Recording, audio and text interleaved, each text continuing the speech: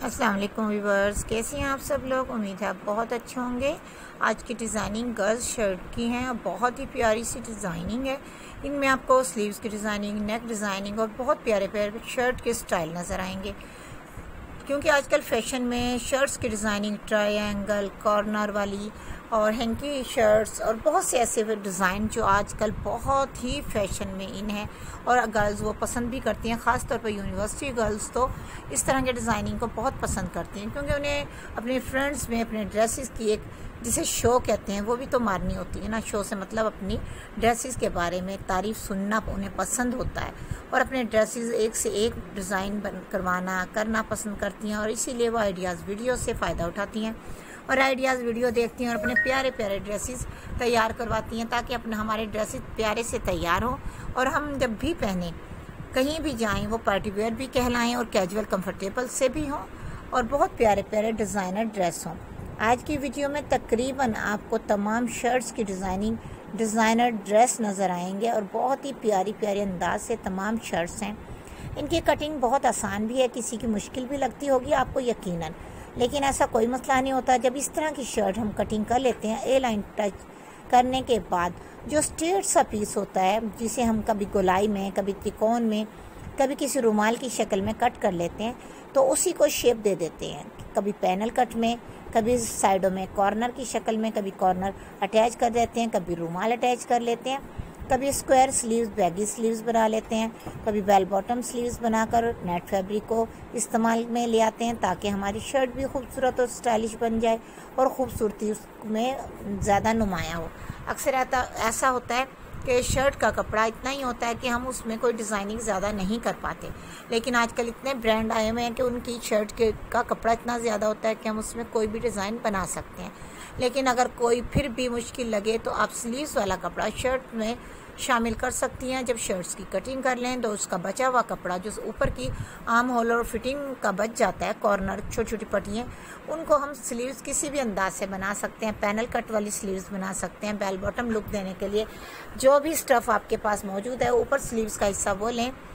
या chiffon fabric net fabric के bell bottom round umbrella double triple four round भी बना सकती हैं। स्लीव्स के डिज़ाइनिंग में मुख्तलिफ़ अंदाज से आप खुद भी बनाने में माहिर होंगी। ज़ाहिर है, जब हम इतनी ज़्यादा डिज़ाइनिंग करना और देखना पसंद करती हैं तो इसमें हमारा शौक़, ज़ौक बढ़ जाता है कि हम नए नए रोज़ डिज़ाइन देखें। उससे हमें अपने डिज़ाइन ड्रेस तैयार करने का एक और ही जज्बा होता है कि हम अपने फ़्रॉक किस तरह से प्यारे प्यारे भी बना सकती हैं शर्ट्स बना सकती हैं पैनल कट बना सकती हैं frock long frock short frock जो आजकल टॉप्स फ्रॉक बन रहे हैं, उस तरह से आप खूब प्यारे प्यारे से अंदाज से फ़्रॉक बनाएँ, शर्ट्स बनाएँ कुर्ता नुमा शर्ट्स बनाएँ, सिंपल सी बनाएँ या उसी में कोई प्यारी प्यारी अंदाज से डिज़ाइनिंग कर लें। ओपन गाउन की तरह वो शर्ग नुमा शर्ट भी बहुत प्यारी लगती है, पॉकेट वाली शर्ट भी बहुत ही प्यारी है। मौसम बदलते ही तकरीबन डिज़ाइनिंग की चेंजिंग तकरीबन सभी शुरू कर देते हैं कि मौसम बदलेगा तो हमारी शर्ट की डिज़ाइनिंग फुल स्लीव्स वाली थोड़ी चेंज होनी चाहिए, उनकी फिटिंग भी होनी चाहिए। शर्ट का जो दामन है, उसकी डिज़ाइनिंग ज़्यादा नुमाया करना पसंद करते हैं, जबकि समर में ज़्यादातर स्लीव्स की डिज़ाइनिंग और नेक डिज़ाइन ज़्यादा गर्ल्स वुमेन्स लेडीज़ पसंद करती हैं। सर्दियों के ड्रेसेस में ज़्यादातर सोचती है चौक दामन के जो डिज़ाइन है, वो नुमाया हो। लेकिन कभी कभी फ्रंट ओपन वाली डिज़ाइन भी बहुत ही प्यारे और यूनिक से लगते हैं। उसमें भी बहुत फ़ायदा होता है। सब लेडीज़ जैकेट जर्सी नहीं पहनती। कोई कोई अंदर स्वेटर वगैरह भी पहन लेती हैं और बॉडी शेपर पहनकर इस तरह के ड्रेस डिज़ाइनर शर्ट को खूबसूरत अंदाज से कैरी कर सकती हैं।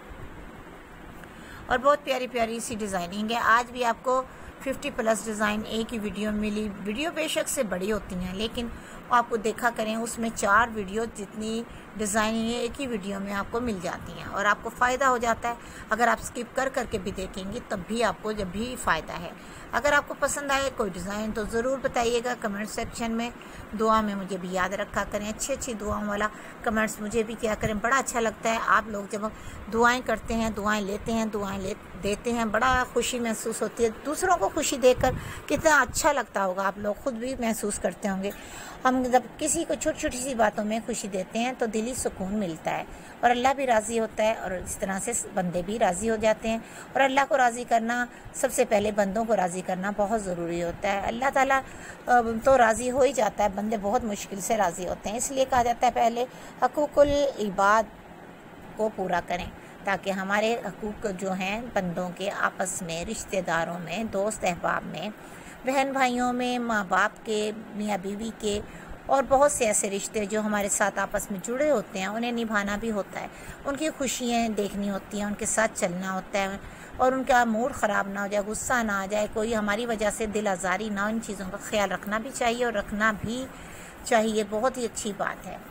और ये छोटी छोटी डिज़ाइनिंग दिखाने का मकसद आपको डिज़ाइनिंग दिखाने के साथ साथ थोड़ी सी बातें करना भी होता है। कभी कभी कुछ लोग कहते हैं, आप इतना ज़्यादा क्यों बोलती हैं? तो और लेकिन कभी कभी कोई इतने अच्छे लोग भी हैं, वो जो कहते हैं, बोल रहे आप बोला करें। अच्छा लगता है क्योंकि इससे हमें डिज़ाइनिंग भी देखना हो जाता है और हम बोरियत भी नहीं होती। ऐसा लगता है किसी दोस्त के साथ बैठे बातें कर रहे हैं। और हमें इस वक्त का पता ही नहीं चलता जो हम आपके साथ गुजारते हैं। मेहरबानी आप मेरे तमाम उन व्यूवर सब्सक्राइबर की जो इतनी अच्छी अच्छी बातों से मेरा हौसला बढ़ाते हैं और मुझमें हौसला पैदा करते हैं कि मैं अच्छा अच्छा काम भी लाऊँ और आपके साथ मिलकर काम करती रहूँ और आप मेरे साथ अच्छे अच्छे से कमेंट्स पे बातें कर कर अच्छी इन्जॉयमेंट भी किया करें। मुझे बहुत अच्छा लगेगा और आपकी दुआओं वाले कमेंट्स पढ़कर तो और भी खुशी होगी। अल्लाह ताला आपको खुश रखे, आबाद रखे। आपकी हर जायज़ हाजात कबूल व मंजूर हों, जो आपके हक़ में बेहतर हों, जो दूसरों के हक़ में बेहतर हों।